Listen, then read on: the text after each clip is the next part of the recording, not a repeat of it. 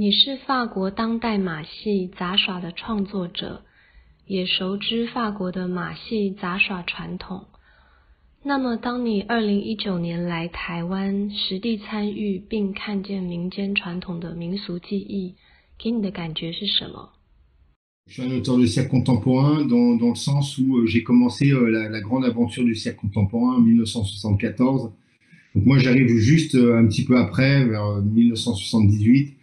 1974, c'est la création. On pourrait dire c'est à ce moment-là que le cirque contemporain français euh, commence avec notamment les, quatre chevaliers hein, de l'époque. Sylvia Montfort avec le théâtre Montfort, euh, Jean-Baptiste Thierry avec euh, le cirque invisible, Alexis Grus avec donc le, le, spectacle de cirque classique, et puis Annie Fratellini avec la fondation de l'école du cirque. À la différence du cirque européen, le cirque européen, il a tout de suite été relié euh, aux travaux de Hasley avec les chevaux et notamment les tentes. Donc ça, si vous voulez, le, cirque européen, il s'est construit autour de la toile hein, et de l'espace circulaire et de l'espace euh, dit euh, le cirque, chapiteau. Ce qui n'est pas le cas pour Taïwan. Donc ça, c'est intéressant parce que la, les racines qui nous permettent de, de trouver des, des, je dirais des, actions de cirque euh, en Taïwan, ben, elle ne passe pas par le lieu, elle ne passe pas par le chapiteau, elle passe par d'autres, euh, je dirais, euh, d'autres vecteurs. Notamment, ce qui est de formidable, c'est que ça passe par le sacré et le religieux. Là, Johnson m'a invité à, aller chercher avec lui ses, ses, réminiscences et puis ses, ses, ses racines du cirque. si j'hésite à trouver les mots, c'est parce que c'est pas des spectacles, mais il y a des, euh, des, des, des, des, des, processions, il y a des, euh, euh, des, euh, activités, on pourrait dire, un petit peu artistiques et sacrées, ou alors on voit euh, des danses euh, particulières, taoïstes, on voit des, des, des, je dirais des, personnalités religieuses qui se retrouvent sur des échasses, et qui vont donc euh, animer en quelque sorte euh, euh, ces activités religieuses. 当代马戏创作趋向于在地传统元素题材的挖掘，你觉得在这个创作方向上，它面对的现代问题？Alors ça c'est génial, c'est c'est vraiment magnifique parce que c'est c'est le point de départ avec avec la notion de la création et puis la notion de, du spectacle du spectacle vivant qui est relié avec cette notion, euh, je dirais, du sacré. Et puis avec euh, avec le choc de du, de la modernité et du monde contemporain. 这次演出是以帐篷为空间，也是在庙城。你觉得马戏民俗技艺的创作与生活、 公共空间、社区、民众的关系与意义 on joue sur la création, mais on, on, travaille aussi sur cette notion de la préservation euh, euh, des traditions. À l'arrivée, ça va être un spectacle assez troublant parce que on voit cette tradition en mouvement à travers euh, des chorégraphies euh, des chasses, par exemple, ou, euh, mais en même temps euh, troublé par un modernisme qui va euh, changer la donne, comme euh, par exemple une chorégraphie euh, d'échasse, mais il n'y a qu'une seule échasse sur une jambe.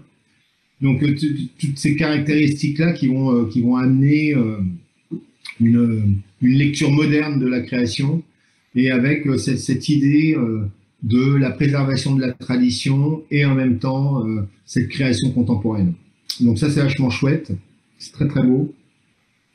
Et surtout euh, l'utilisation du plastique qui, euh, pendant toute l'œuvre, va euh, amener une couleur, une teinte, une esthétique et une, scénographie toute particulière. Le rapport musical aussi, le rapport du son, qui est vraiment très intéressant dans ces, dans ces danses sacrées, qu'on a aussi étudié, qu'on a repris, qu'on a, qu'on a travaillé dans la tradition et qu'on a repris tout bêtement dans la tradition. Et puis, on le, propulse, euh, on, le, met en phase avec euh, la notion contemporaine et avec cette notion euh, de l'ultramodernisme de, de l'époque, avec notamment des exemples comme l'utilisation du plastique dans la société moderne.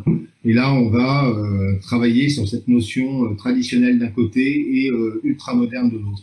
Et ça, c'est vachement passionnant parce que c'est nous les créateurs, c'est nous les auteurs qui permettront euh, d'offrir au public euh, bah, euh, tout un parcours historique de et une, une genèse hein, du cirque taïwanais et de son exploration artistique.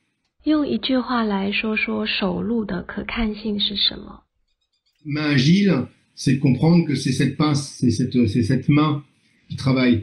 Et on fait référence notamment à toute la, le patrimoine artisanal, le geste le geste de la main qui travaille, euh, euh, les herbes euh, traditionnelles taïwanaises, le geste qui travaille le, les, tous les, toutes les cérémonies religieuses et donc les cérémonies spectaculaires dans, dans les danses sacrées.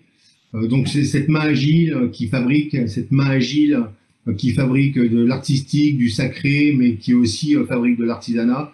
C'est un petit peu ça qu'on a cherché, que Johnson a cherché avec Tona Circus.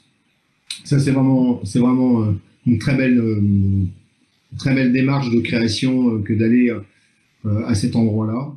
Main Agile est un spectacle pour tous, hein, et c'est surtout les premiers spectacles de cirque taïwanais.